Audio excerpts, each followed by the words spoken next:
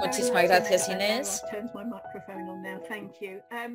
Entonces, yo trabajo en Build, que es una red para eh, reducción de eh, restricciones y es un placer trabajar con plena inclusión y aprender las unas de las otras. Me han invitado a hablar de debriefing post-incidente, o sea, una revisión post-incidente. Voy a hablar de um, cómo hemos desarrollado estas herramientas. Si tenemos tiempo, también vamos a poner un vídeo breve. Un debriefing es algo que ocurre después de un incidente ah, ah, difícil. trabajamos con personas con con todos estos elementos son importantes para nosotros trabajando con las personas implicadas en un incidente. Muchas organizaciones y proveedores de cuidados nos han contado que eso es una de las estrategias más difíciles de lograr. Eso es un problema para nosotros en el Reino Unido porque la mayor parte de las, las pautas que seguimos Dicen que tenemos que hacer esto, pero eh, resulta que estamos insistiendo que gente hace debriefing, pero no, luego no los estamos enseñando adecuadamente cómo hacerlo. ¿Por qué es tan importante?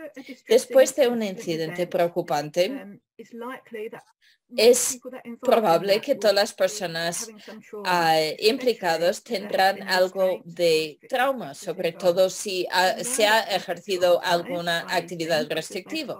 Sabemos que las personas viven trauma de estos incidentes porque nos lo han contado y también que hay muchos estudios sobre la presencia de este trauma. Sabemos que incidentes difíciles y inquietantes tienen un impacto, tienen un impacto sobre las relaciones y las respuestas las unas a las otras y sobre todo sobre el comportamiento. Se puede ver muy alterado el comportamiento de las personas después de un incidente inquietante. Entonces, hacer un debriefing permite que las personas presentes vuelven a sentirse seguras. También es muy importante repasar y aprender de estos incidentes ah, inquietantes y esto minimiza la probabilidad de que vuelvan a ocurrir en el futuro.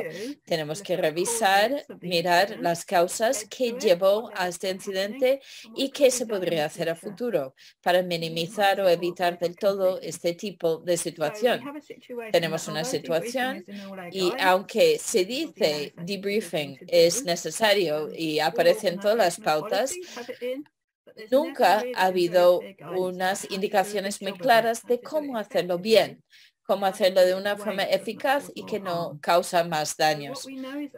Sabemos que algunas organizaciones no lo han hecho muy bien o lo han hecho solo para marcar la casilla de que lo han cumplido con este requisito, pero la investigación nos demuestra que ah, esto ha producido aún más trauma. Las personas con autismo y discapacidades ah, de aprendizaje ah, muchas veces lo viven como un castigo si no está bien ejecutado. Entonces, entendemos que mucha gente no entiende exactamente qué es un debriefing correcto y deberíamos dedicar un poco de esfuerzo. Entonces, Hace dos años conseguimos permiso del Servicio Sanitario del Reino Unido para producir algunos recursos para entender cómo sería este debriefing. Empezamos desde una perspectiva de experiencia vivida. Hablamos con varias personas, también profesionales e investigadores, y empezamos con la pregunta de qué haría que sintieras mejor después de un incidente para que no te quedes con ah, malas sensaciones. Trabajamos con un grupo maravilloso de jóvenes que, que tenían autismo o ah, discapacidades intelectuales. Primero definimos la función. En todas nuestras políticas dicen que necesitamos un debriefing después de un incidente, pero tenemos que llegar a un acuerdo de qué significa exactamente esto. Lo primero que nos decían las personas jóvenes era, ¿qué es un incidente?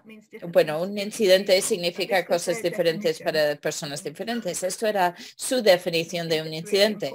Un incidente es una interacción o evento con mucha carga emocional que puede generar estrés y trastornos generalizados, muchas veces debido a las necesidades que no están siendo respondidas. los niños y jóvenes lo tenían muy claro. He hablado de las dos funciones del debriefing. Uno es el apoyo emocional, que es muy, muy importante. Y para niños y jóvenes decían que esto era la parte más importante, que necesitaban sentirse cuidados, queridos, amados y apoyados después de un incidente y no sentir que ah, estaban siendo castigados o rechazados por el personal. A muchos, tristemente, sentían muy poco cuidados después de un incidente, que era muy duro escucharlo. La otra parte tiene que ver con esto tiene que hacerse en dos, de dos maneras diferentes. Muchas personas han intentado mezclar estas dos cosas y esto lleva a una sensación de poco apoyo, poco respaldo. Si se pasa directamente a un interrogatorio de, cómo deberíamos haber hecho, ah, se sientan más acusados. Entonces, primero es esencial apoyar la parte humana que se sientan bien. La parte de aprendizaje y revisión debería venir más tarde. Muchos sentían que el personal estaban intentando hacer su trabajo bien, pero que a veces no lo conseguían, a veces no sabían qué hacer. Cuando hablamos con el personal, muchas veces decían, no sabemos qué decir después, no sabemos lo correcto para hacer. Entonces, estos cursos se conciben como para ser muy prácticos, dando sugerencias de qué se puede decir y hacer para hacer esto bien. Hay toda una serie de recursos y entiendo que muchos de estos ya se han traducido en castellano. Los jóvenes también les resultaba muy importante hacer esa animación. Decían que era la mejor forma um, para que el personal aprendiese. Decían que muchas veces la gente no lee las cosas, um, entonces hicimos una animación, creo que tiene una duración de cinco minutos. Esperamos que les resulta útil estas, ah, estos recursos. Sería muy interesante conocer sus respuestas. No sé si tenemos tiempo para poner la película o no. No, no creo que hay problema. Vamos a compartir el vídeo, son unos cuatro minutos y es bastante interesante.